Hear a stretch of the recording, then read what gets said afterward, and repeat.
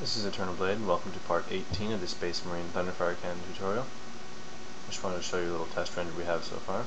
That's what it looks like. Um, I'm doing pretty good. Got some detail here. And I'm going to work on these large pieces up here just to flesh it out a bit more so I can have some other stuff to work on, you should say. So, go into the front view, create a box, here. Okay, on left view, press F3 to get rid of that. Uh, convert it to an editable poly. Select the vertices and drag. Okay. Drag here. Actually, let me. Okay. Um, select these edges, connect, okay, go to the vertex mode, select these vertices here, drag them down, select this polygon, deselect these, and extrude, and okay, looks good, and drag that forward, okay, perspective, select these, and I believe they curve inward. Yes, yes. So, hinge from edge, pick hinge, right here. 45 and 1. Okay. Actually, looks like we can do a little more than 45, so hinge from edge, um, pick hinge there first make it 52.5 extrude. Okay. Um, hinge from edge pick hinge right there. And let's see. 25 and extrude Okay. Perspective. Um, block it out like so.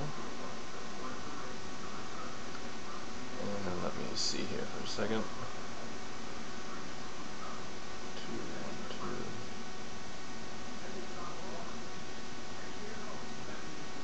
two. Alright, that looks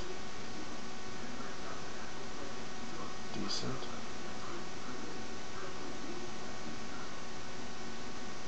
Okay. That's that main piece. And let's just... That's kind of thick. So I'm going to thin it up a bit. Go in the front viewport here. So these vertices, bring them in, select this, bring it up, and bring this one up as well.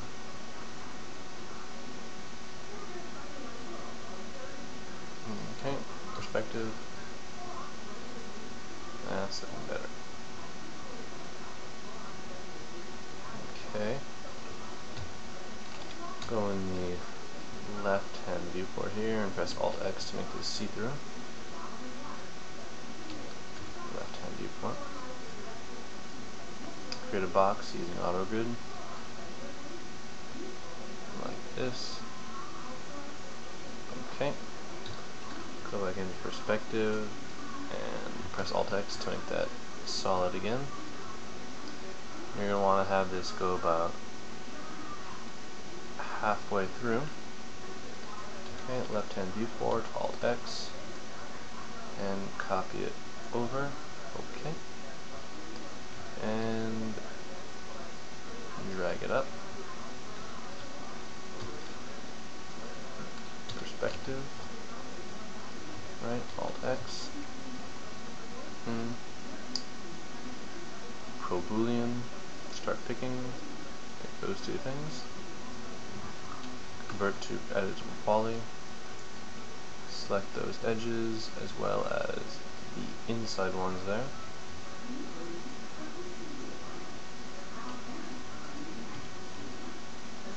Okay.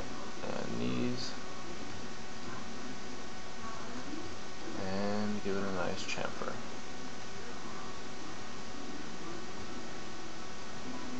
You can make this one kind of big as well. And one should do it. Alright. Um, let's see. Somehow it fits above this thing. But I don't know how that works. Um, hold on one second. Okay, I figured out these things attach directly to the gun and they're not actually attached to this thing down here. So we're just going to leave that for now. Ooh. And let's actually fix this here. I'm missing some stuff, so cut from there, there, there, there, and the same on this side. And right here as well.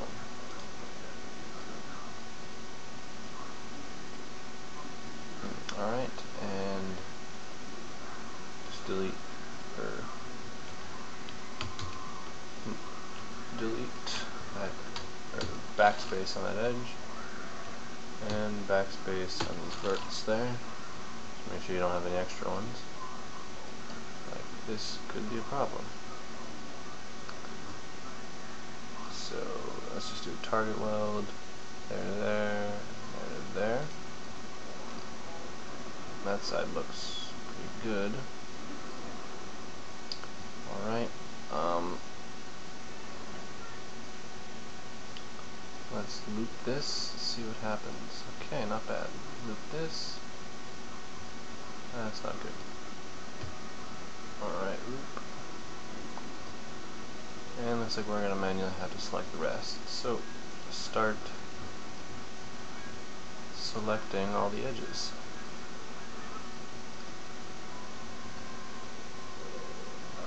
And then this will just be for a really large chamfer.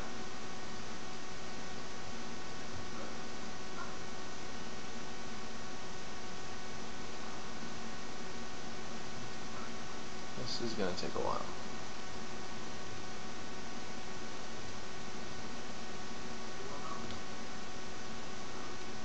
Or not.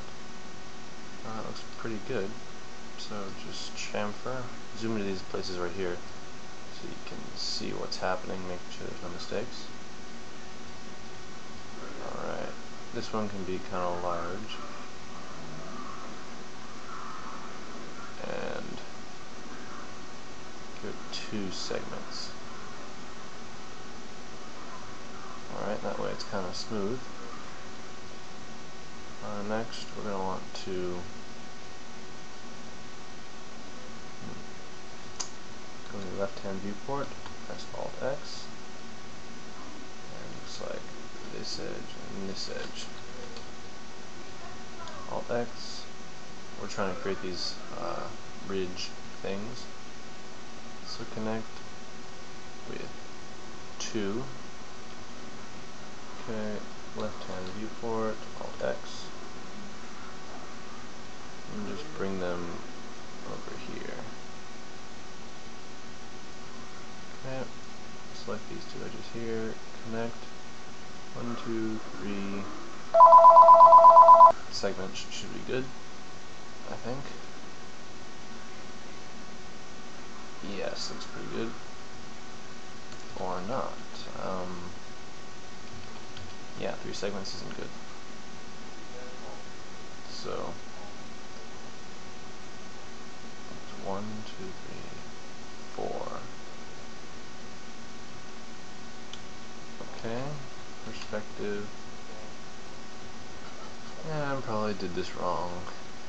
Yeah, I did. We can't do it this way. So just delete everything you just did.